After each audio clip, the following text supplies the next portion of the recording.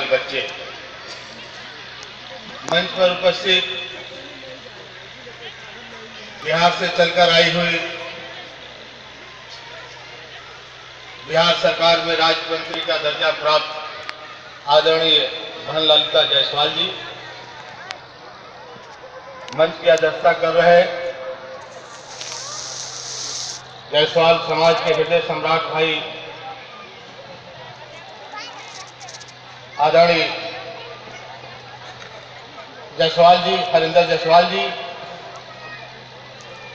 और मंच का कुशल संचालन कर रहे आदरणीय हम लोग के बड़े भाई हृदय नाथ जायसवाल जी। लोक सेवा आयोग के लोक अदालत में जिला जज जो है देवरिया में आदरणीय जायसवाल जी, ये यहाँ पर उपस्थित है, जो बिहार में काफ़ी समय तक ले डिस्ट्रिक्ट जज के पद पर विराजमान थे और रिटायरमेंट के बाद उत्तर प्रदेश गवर्नमेंट ने इन्हें देवरिया में लोक अदालत में जो है इन्हें मुख्य जज बनाया। इसके साथ साथ मंच पर उपस्थित जायसवाल युवा मंच के सभी सम्मानित पदाधिकारी, साथीगण हम लोग के बड़े भाई आदरणीय सुभाष जी, जायसवाल समाज के जो है युवा के राष्ट्रीय अध्यक्ष भाई विनोद जी और जायसवाल समाज का कहीं भी कोई कार्य हो, निमंत्रण हो, न हो, अवश्य उसमें अपना सहयोग करने वाले भाई रामचंद्र जायसवाल जी। आदरणीय रामचंद्र जायसवाल जी और राजेंद्र जायसवाल जी।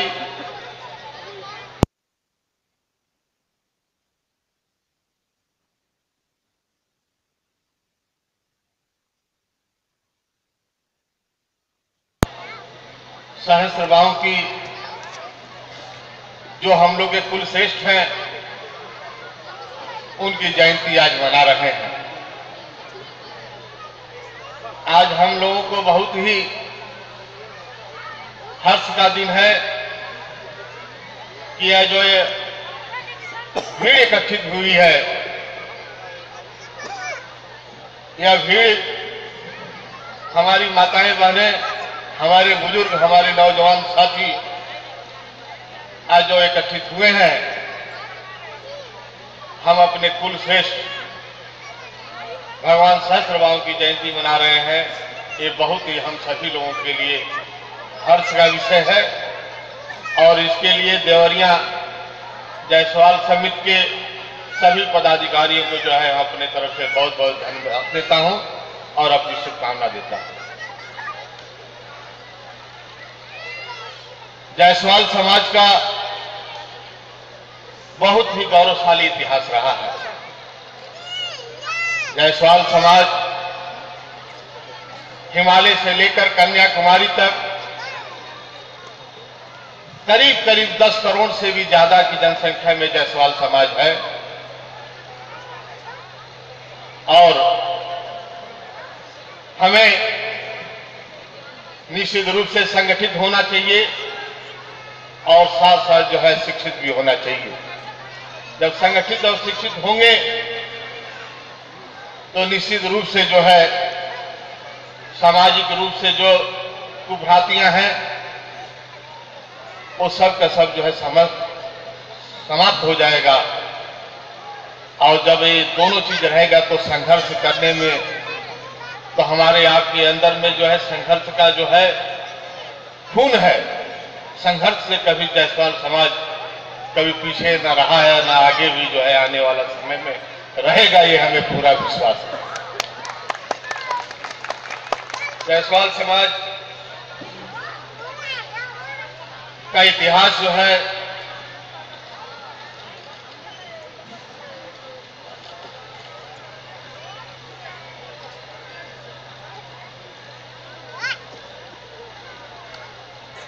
बहुत ही गौरवशाली।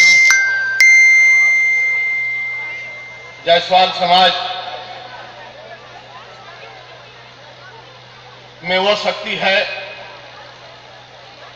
कि कामयाब लोग जो अपने फैसले से दुनिया बदल देते हैं।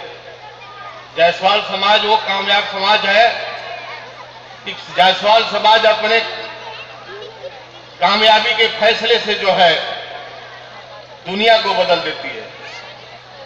और इसी में नाकामयाब लोग हैं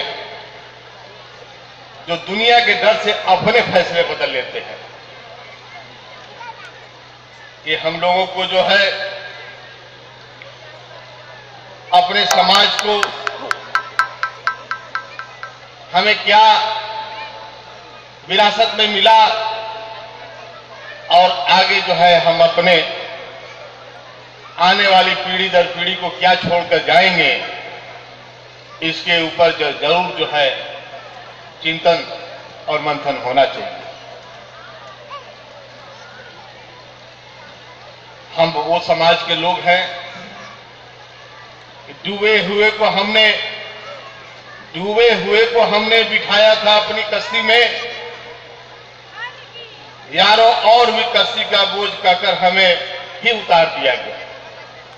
हम लोग समाज जिनको हम लोगों ने बैठाया, वही हमें कश्ती से उतारने की बात कर रहे हैं। हम आप लोगों से जो है यह बात इसलिए कहना चाहता हूँ कि भाई हरिंदर जायसवाल जी के साथ जो है, युवा वर्ग के कुछ नौजवान जो है, एक दिन जो है हम आमंत्रित किए थे। और भाई हरिंदर जी के साथ में जो है, जायसवाल समाज के, वैश्य समाज के युवा वर्ग के लोग भी आए थे। और हम लोग एक कुल श्रेष्ठ कुल देवता सहस्त्रभाव के ऊपर जो है हल्का सा हमने चर्चा छेड़ा। तो उन लोगों ने कहा कि हम लोग सहस्त्रभाव की जयंती ज़रूर मनाते हैं और आदरणीय जगदीश जी और भी कुछ लोग जो है, कुछ बता देते हैं तो उसे हम ज़रूर जान जाते हैं। लेकिन इतना विस्तार से हम नहीं जानते विस्तार से तो मैं भी नहीं जानता हूँ। लेकिन जो हमारे नौजवान हैं उनको अपने सहस्त्र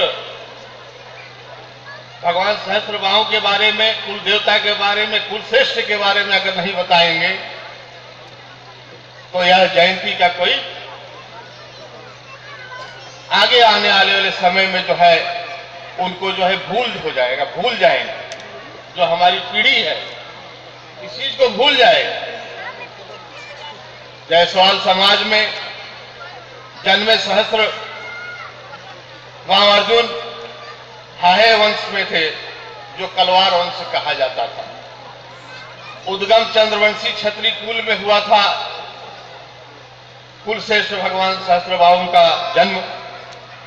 जो चंद्रवंश में सहस्त्र जाओ बाबू अर्जुन का जन्म हुआ, इन्हीं की संतान कलवार वंश हम सभी लोग हैं।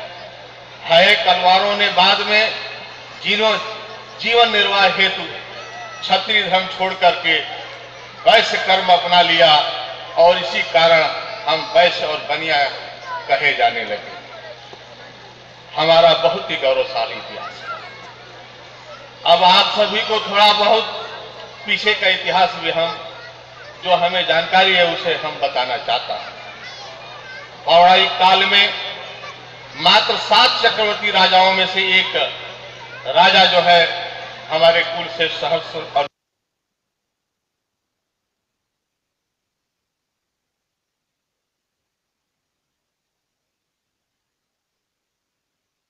हुआ है आप लोग पढ़ सकते हैं सत्रभाव अर्जुन का उल्लेख महाभारत और वायु पुराण में भी लिखा हुआ इनके गुरु भगवान दत्तक राज जी थे, दत्तक रे, जिन्होंने शस्त्र और शास्त्र की शिक्षा सैकड़ों वर्ष तपस्या के बाद सहस्रभाव अर्जुन को जो है दर्शन दिए थे और भगवान दत्त जय जी ने स्वयं सहस्रभाव जी के सभागार में उपस्थित होकर के उन्हें राज तिलक लगाया था।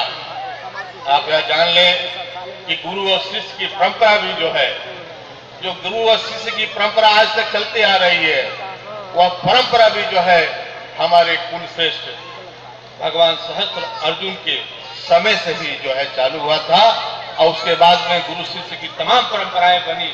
लेकिन शुरुआत जो है, हमारे सहस्त्र गाँव गुरु और शिष्य गुरु का परंपरा तभी से चालू है। महाराज सहस्त्र गाँव जी 700 यज्ञ कराए थे। इस ब्रह्मांड में 700 यज्ञ कराए थे। और 700 योग, यज्ञ कराने के नाते जो है अलग अलग द्वीपों को जीत करके उनको सप्त दीपेश्वर की भी टाइटल से नवाजा गया था।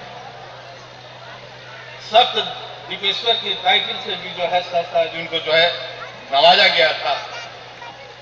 आप ये भी जान लें कि आज कृत्रिम वर्षा की चर्चा जो है टीवी अखबारों में बराबर